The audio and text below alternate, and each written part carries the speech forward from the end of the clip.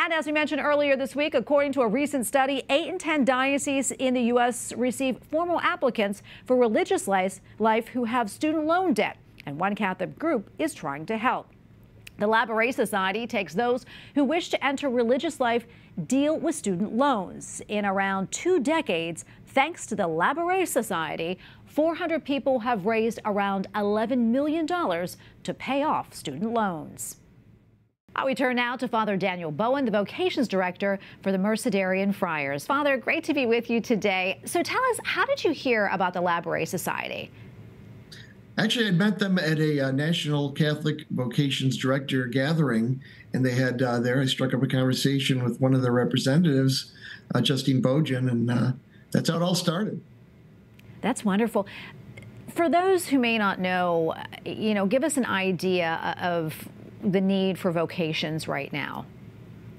Yeah, in the church these days, all vocations are down in the sense of marriage or even consecrated religious life, priesthood. And there's really that need for people to come aboard and answer that call that God puts on the hearts of so many. Um, the challenge can, of course, be there can be uh, things that might keep them from being able to answer that call. And what advice would you give to someone who's discerning um, but has the roadblock of, say, student debt? Don't let that be a no or a stop sign.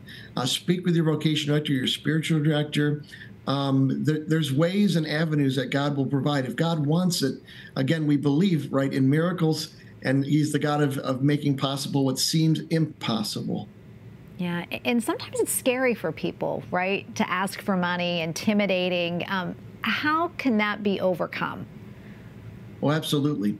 Uh, especially uh, if we're talking uh, student loan debt, something like that. Maybe you, you've set out in a course in one direction, but God suddenly says, Hey, I've got something else for you uh, th- there are places and people that are willing to give that hand to the uh, to an individual that that you know they may not be aware of that a vocation director or, or spiritual uh, director may have a connection with. So definitely, you you don't bring it to prayer, but then also bring it to an individual that actively uh, works in vocation, um, religious vocation uh, work and discernment. Father, in doing, you know, those, I guess, uncomfortable work of asking for money and in the delay of not being able to enter a community right away because of that. Um, do you think that can bear any spiritual fruit during that time? Oh, absolutely, without a doubt. Uh, and again, it's, it's, sort of a testing of the vocation. It's helping God to kind of give you your stronger legs, you know, to, to, be able to speak about your call to other individuals and to let them know that call to a, person is, yeah, to yourself. But again, we are all within a family, right? Uh, by God's design, it's all about relationship. And so, besides just, you know, it's not just asking money, it's about helping people to uh, support and encourage your vocation, but to bring them on board, you know, because you don't, it's not like you're going to disappear off the face of the earth. You're going to be a summons to be a person for others. It's a laying down of your life for others.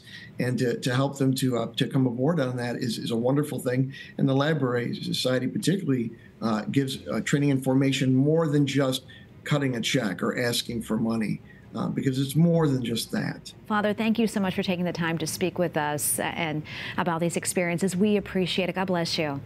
You're most welcome. Thank you. God bless you as well.